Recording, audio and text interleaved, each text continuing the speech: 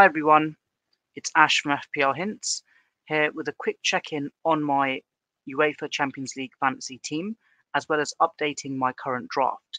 So as you can see on screen there, that is the team as I selected it literally before I even knew round of 16 teams would be. This was like literally initial draft. that I've got a set and forget team so that I could revisit the squad in Feb. So I've got Kane up top with Haaland and Jesus, Sane, Foden, Saka, Bellingham, Hummels, Cancelo, Zubeldia.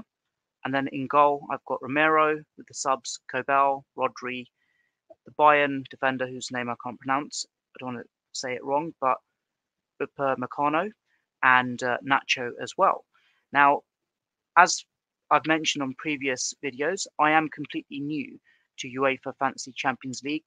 I've played it like once or twice as a casual, kind of gave up after one or two games, but then I've actually done reasonably well in the group stages. Then I thought actually I'll take each game week or match day as you call it as it comes, and it's going well so far. So what I've decided with, with this placeholder squad that I have at the moment, I actually reread the rules again because I wasn't aware that there were certain changes. So obviously we've got the unlimited transfers ahead of all the round of 16 games. But I, what I wasn't aware of is that we can now have up to four players per club. In addition, I wasn't aware of the fact that the deadlines actually get split. So we've got this match day seven for the first leg, Tuesday the 13th at 9 CET. But then there's a another match day eight for the second leg. So it gets split essentially. And it got me thinking then. It was like, well, as it stands right now, I've kind of like split the players up just based on who I thought was best for each team. But then I thought to myself, actually, what if I just go quids in essentially on like certain teams because I can now maximize at four at a time. So, with that said, I'm going to basically do a draft which is solely for this week's round of Champions League games. And of course, it would mean that the week after, essentially, I wouldn't score any points. But then what I'm hoping is that if I can go all in on these teams that I would hope would reach the quarterfinals, that then I've got like a healthy backbone for that next round. And of course, if none of the teams that I back in the round of 16 make it with these players, and obviously I'm in somewhat of a predicament, and I'll probably give up uh, UEFA Fantasy Champions League at that point.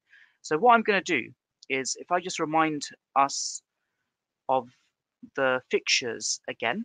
So for the round of 16 match day seven, we've got Leipzig against Real Madrid, Copenhagen against Man City, and then we've got Lazio against Bayern, and then Paris Saint Germain against Real Sociedad. So, what I'm going to actually do is essentially go all in on the teams here. So, I'll try and get as many as I can from PSG, as many as I can from Bayern, from Man City, and from Real Madrid. And of course, like I've said, it's lopsided because then for the next round of games, I literally would have no coverage. So I'd hope that I can maximize the points um, in this particular window. But what it would mean is that I, I've got like three additional subs if I need to make tweaks. That's it. And otherwise, I'll be taking hits. So let me see what I come up with this draft. And I might even commit to actually. So as we can see right now, that is my current draft. So I'll get rid of Jesus. He's not playing in this window. I'll get rid of Varea um, and Saka. And then going further down, get rid of Hummels, Cancelo, Zubeldia. I might actually, I'll keep him for now. Um, he's playing in this window. Uh, Kobel isn't and then got those players that are. So go straight to the forwards first and foremost. So we know that just filter maximum. So I'll pick Mbappe. Oh, Some buying, apologies. Let's get rid of this.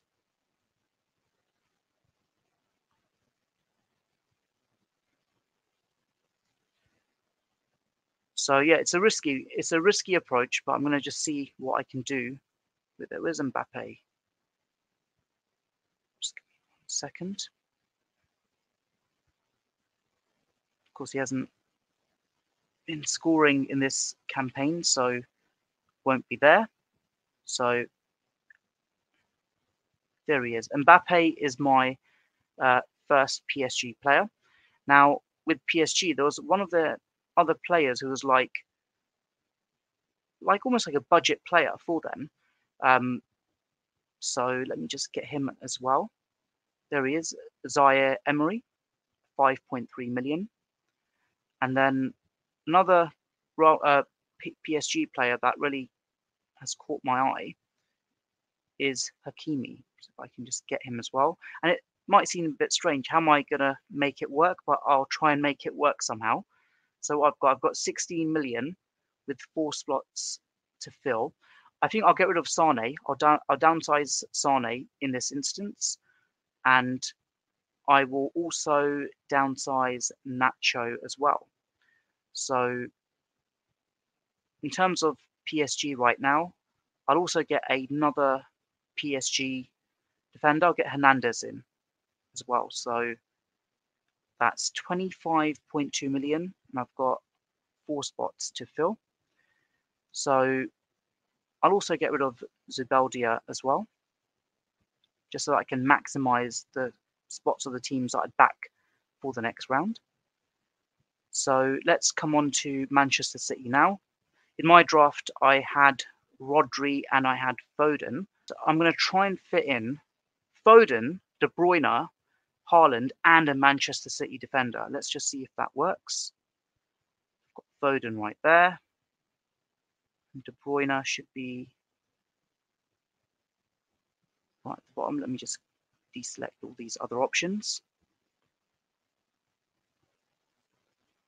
There he is, 10.5 million. So the defender I'm going to pick from Manchester City will be Ake. I've got a feeling he's played in all the group stage games. So I'm going to back him. Let's just confirm. Yep, that is the case. Although didn't really keep any clean sheets, but four and a half million absolute bargain. So in he comes. So here I've backed four Manchester City players and four PSG players because um, I've got the allocation to do so. Upamecano, I'm going to get rid of him, and I'm going to try and douse, downsize him. Actually, I'll keep him. Let's. I might not need to downsize him here. So the uh, the other um, player I'm going to get from Bayern, because my funds are somewhat limited. I wanted uh, Leroy Sane, can't get him, and Kimmich wouldn't make sense as well. So let me just go to Bayern Munich.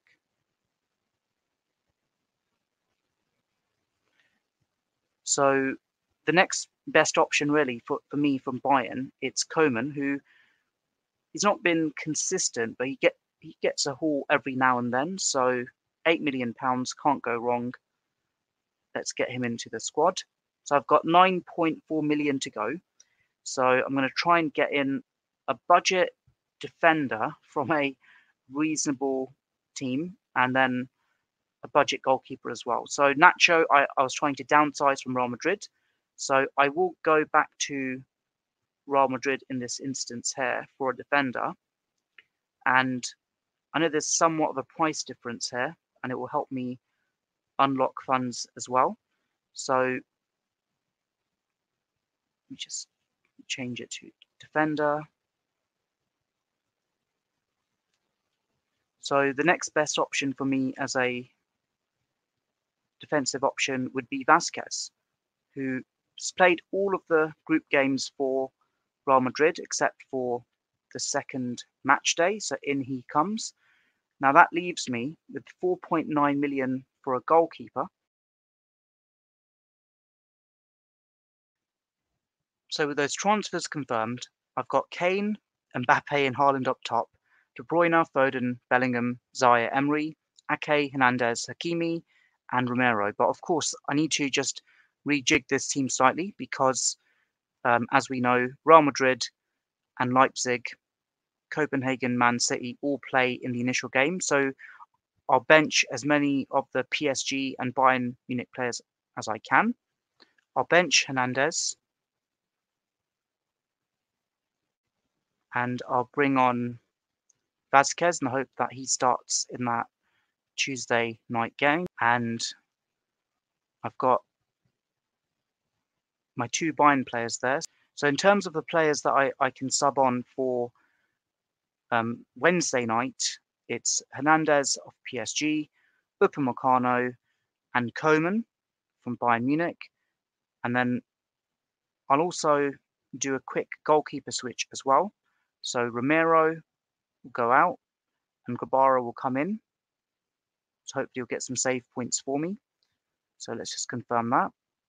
And I'll just do a super zoom in. So with this um, updated draft, if I was to fully commit to it before the deadline, Kane, Mbappe, Haaland up top, De Bruyne, Foden, Bellingham captain, but it's an important caveat that Bellingham actually um, might potentially miss out due to uh, an injury, but I'll keep the captaincy on him just for now. And then Zaire Emery is the other midfielder. Ake, Vazquez, Hakimi make up the defense, and then Grabara in goal.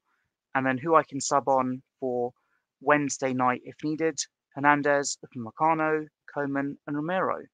So there you have it. It's an experimental updated draft. Of course, the upside is I'd get a lot of points this week.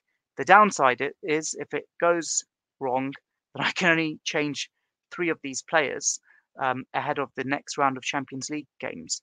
Let me know in the comments below what you think. If this is completely like out of the box and not worth the risk.